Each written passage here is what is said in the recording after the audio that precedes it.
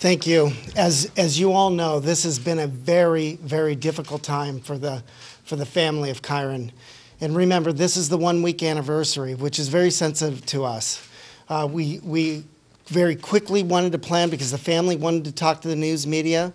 They're not prepared to answer any questions, but what, what I do want to tell you is that after, after this press concert, conference, if you'd like, please meet in the, the back here and we'll have Captain Brosh and Mary Lindstrom and they'll give you a way to be able to, to email questions in.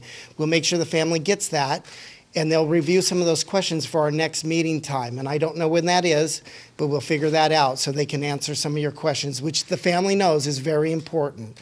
But keep in mind, this is very difficult.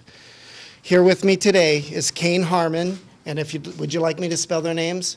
Kaine, K A I N E, Horman, H O R M A N, Terri Horman, H uh, T E R R I H O R M A N, Tony Young, T O N Y Y O U N G, and Desiree Young, D E S I R E E Y O U N G. And remember, they stand together here today as a family.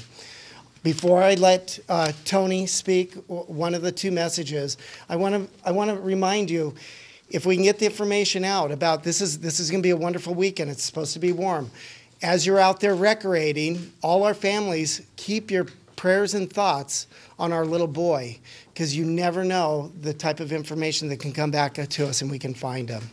So with that being said, Tony, can you come on down? Thank you.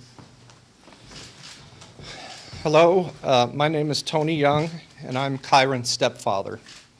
Uh, the has asked me to speak on their behalf today.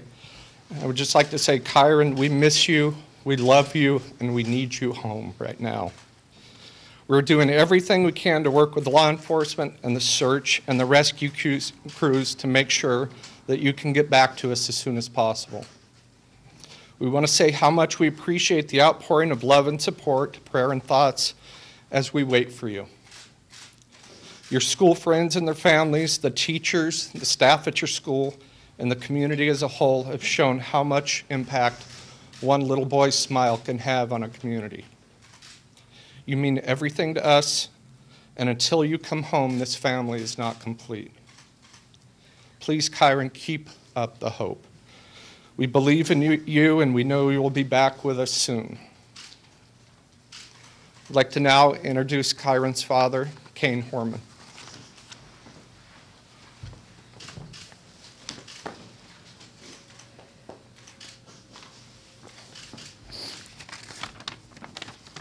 Hi, I'm Kaine. I'm Kyron's father.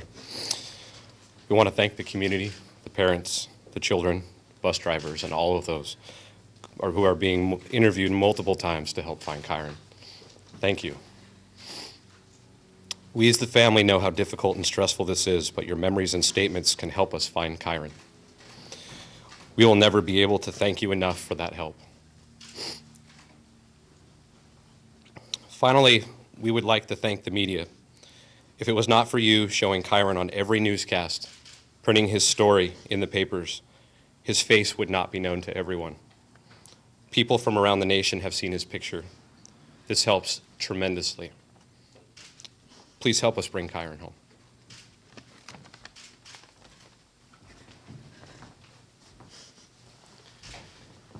I do, I do want to thank the Brooks Hill Historic Church here today because without this little office here, we would not be able to get our story out. And we really appreciate not only all the people out there helping us, but as this church as well. With that being said, the family's going to go ahead and leave, and I will have Captain Brosh and Lieutenant Mary Lindstrom answering um, to make sure that you're able to get the questions to them. Thank you. Give us time to get this done, and I'll be there to meet you.